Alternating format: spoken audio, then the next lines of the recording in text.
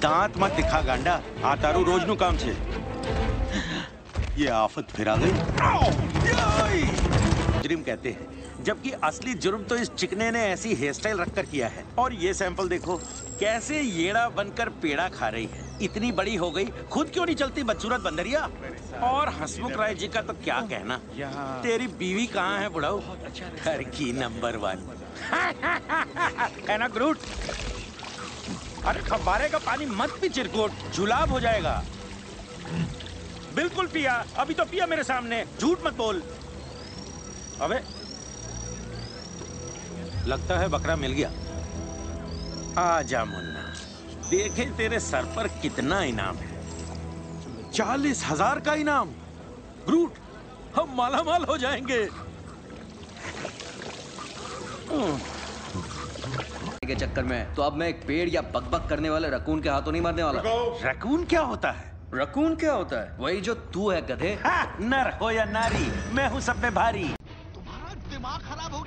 मैंने सोचा सबके मोबाइल चार्ज हो जाएँगे। मज़ाक सोच रहे हैं तुम भी तुमने देखा ना कैसे उस सोन पापड़ी ने अपनी बेइज्जती की?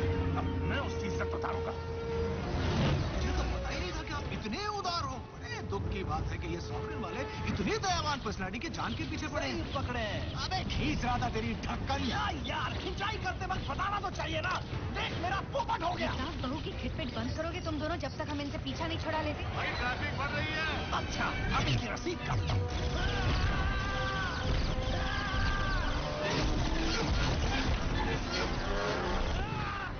तुम किसी की रसीद नहीं काट रहे हो ये सारे शिप्स रिमोट कंट्रोल से चल रहे हैं। सबसे पास का प्लानट कौन सा है?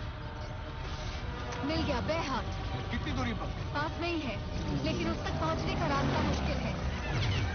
हमें उस उल्का पिंड के चक्रव्यू से गुजरना होगा।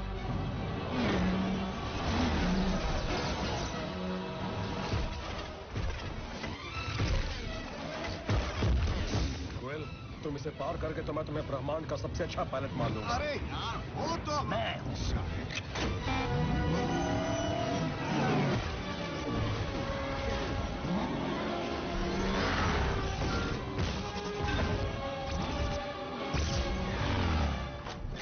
ये क्या कर रहा है? अरे जिस स्कूल में तू पढ़ता ना मैं वहाँ का प्रोफेसर हूँ। जिस स्कूल का तू प्रोफेसर था मैं वहाँ का प्रिंसिपल था। हमारा प्रिंसिपल आज भी मुझसे ट्यूशन लेता है समझे?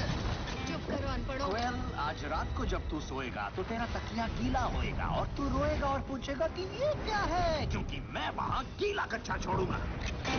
अगर तूने ऐसा कुछ भी किया ना तो तू तो गया। वो मेरा कच्चा नहीं होगा। ट्रैक्स का होगा।